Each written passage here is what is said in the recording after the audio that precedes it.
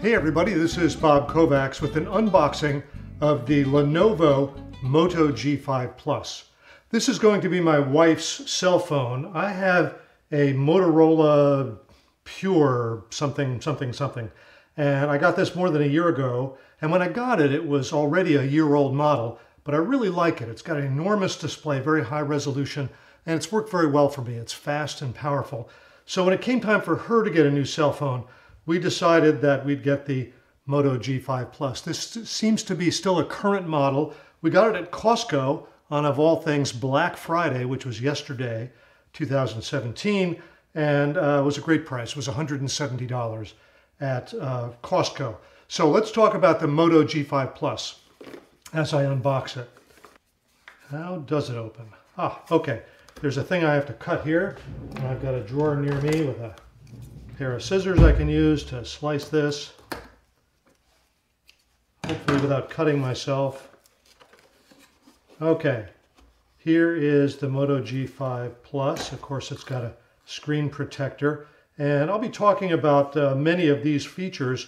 One of the cool things is it has a fingerprint reader. So my wife is looking forward to be, uh, being able to lock the phone using the fingerprint reader.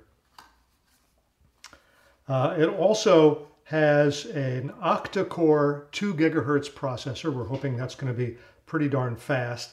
And it also cool, uh, one of the cool features is it comes with turbo charging. So it's a much faster charging than your typical cell phone. Now my uh, Moto Pure or whatever it is uh, also came with the turbo charging. I very seldom use that. That's a separate charger that's in the box. I'll take it out in just a moment. Uh, I seldom use it. I just normally plug it in in the car or to a normal charger and it seems to charge at the normal rate. But the turbocharger, when I have used it, it's really fast. It's like three times as fast as a regular charger. So, okay, let's uh, just set that aside for now.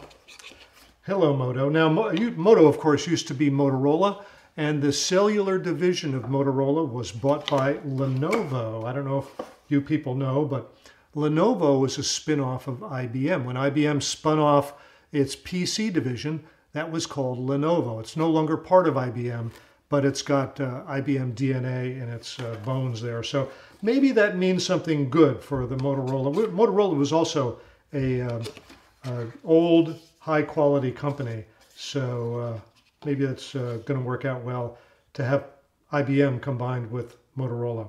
Okay, here's what's underneath.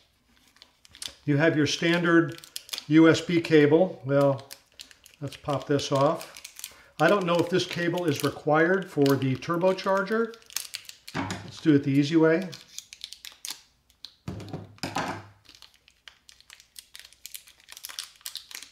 Again, I've mostly charged my phone with a regular charger, but this seems to be a good length here.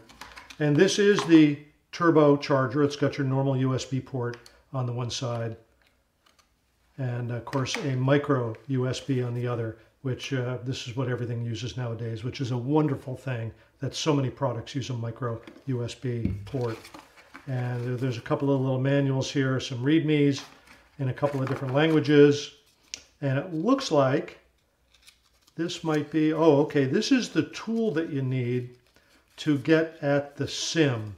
So somewhere along the side of this, uh, I'm guessing it's right here, is the compartment for the SIM. And you poke this in. Anyway, uh, this is the tool that you use to get in this tiny compartment right here, which I believe has the SIM underneath it. Also on this phone, it takes a external memory. So maybe both the memory and the SIM go in this slot here. Now let's talk about this phone. I'll peel its cover off the screen. Oh, okay, it's, uh, yeah, the cover doesn't want to come off the screen.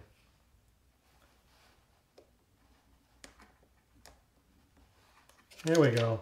Okay, so that's what it looks like. They call this uh, some kind of silver gray is the finish here. And of course, here's the camera. Now the front video camera, actually they call this the rear video camera. The rear video camera is a 12 megapixel and it's got dual LED flash here. Pretty sure that's dual LED flash. The front camera, oh, it's already firing up, is a 5 megapixel, and it looks like there's no flash on the front. Now this display is a 5.2 inch display with a resolution of 1920 by 1080 pixels. So it's a full HD display and it's already talking to me. That works out to 424 ppi for the resolution. So it's pixels per inch is 424, which is a very nice, smooth, as uh, Apple would call it, a retina display. And the display has Corning Gorilla Glass 3 on it. Now, uh, there's a couple of different versions of this phone, all of them being called the Moto 5G Plus. There's one with 2 gigabytes of RAM and one with 4 gigabytes of RAM. This is the 2 gigabyte version. Now, those two versions also have different storage amounts. Uh, there's 32 gig and 64 gig. The 2 gig RAM unit comes with 32 gig storage. The 4 gig RAM comes with 64 gig of storage. Since this is the 2 gig RAM, it comes with 32 gig of storage. And uh, this is an unlocked phone. It will work on any carrier service. It has both GSM and CDMA, so it can work on Verizon, Sprint, AT&T, T-Mobile, and any other company that uses the same sort of networks that those um, big four use. It also, of course, has LTE, and since LTE is very similar to GSM, it uses virtually all the LTE bands.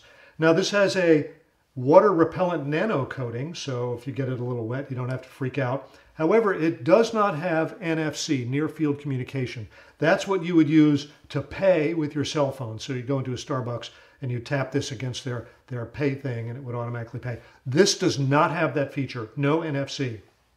For location, it has both GPS and assisted GPS, AGPS.